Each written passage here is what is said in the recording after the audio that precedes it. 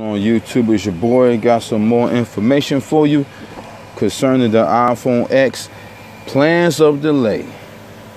Uh, many people was hoping to get the new iPhone X in October. Well according to this article of MacRumors uh, that production might be delayed all the way up until December so a lot of people might not get the iPhone X until 2018.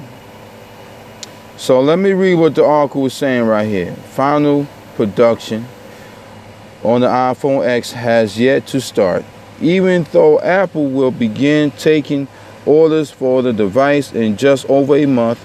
Raymond James, chip analyst Christopher Caso conducted supply chain checks this morning and then shared what he learned about Apple's production schedule and that investors know obtained by Barron's. According to Caso, while there were already production delays affecting the iPhone X, further delays have occurred recently. He says production is set to start in mid-October, later than earlier predictions, with additional delays. for production ramp up will be delayed into December quarter.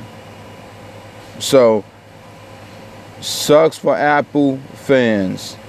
Uh, you can go ahead and um, I'm gonna put the link of this into the uh, video description, and you could click on this and read this article for yourself. Uh, what it talks about with the iPhone X being delayed.